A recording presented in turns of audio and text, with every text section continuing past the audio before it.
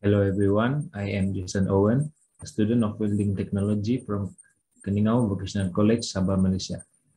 I am going to talk about my project Individual Spike Trainer. I created this tool in order to train players to learn to master one of the basic technique in volleyball, which is the spike technique. This project enables player to adjust the height of the ball according to the level of training that they would like to experience. I have upgraded this project so it can be put up and put into use by a single person. There are many problems that often occur in a volleyball training session, especially for a beginner. They frequently make mistakes in putting the volleyball techniques into practice due to lack of consistency, which can be attributed to insufficient training equipment or equipment that is in poor condition. The main objective of this project was to design a training equipment that suits in individual needs.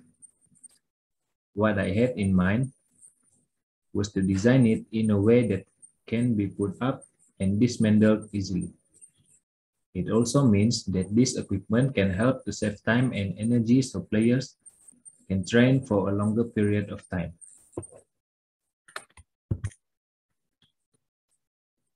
There were 20 volleyball players who volunteered to be respondents for my data collection. Six of them were females and 14 were males. Through elicitation technique, I was able to confirm that 70% of them state that this equipment worked accordingly and 80% of them said that it was easy to put it up for use and also to reassemble it once the players are done with the training. This was the division of the genders. The age of this, the respondents ranged from 16 to 39 years old and majority of them were men. Based on the quick survey that I did with these respondents, they generally felt that the equipment could be used conveniently and it met the expectation on its function which was to aid them with their practice. They expressed strong approval on the physical features of the equipment that including its safety, its durability, its movability, and its aesthetics. This project was made of recyclable materials, so it's good for the environment. It can be moved easily since it, it can be folded to minimize storage space and it and this also means it is much easier to carry it anywhere.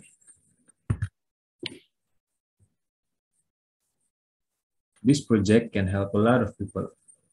It is likely that it can improve volleyball player skills in sport, in playing the sport, especially the spiking techniques.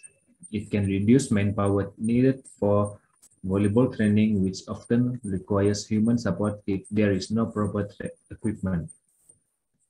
On top of that, it is affordable. This is a demo video on the project. Let's watch it.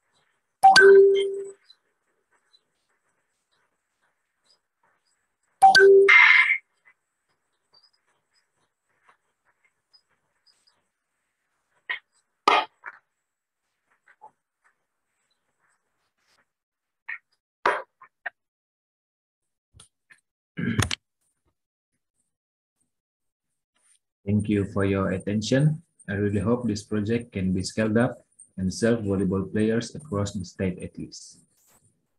Thank you.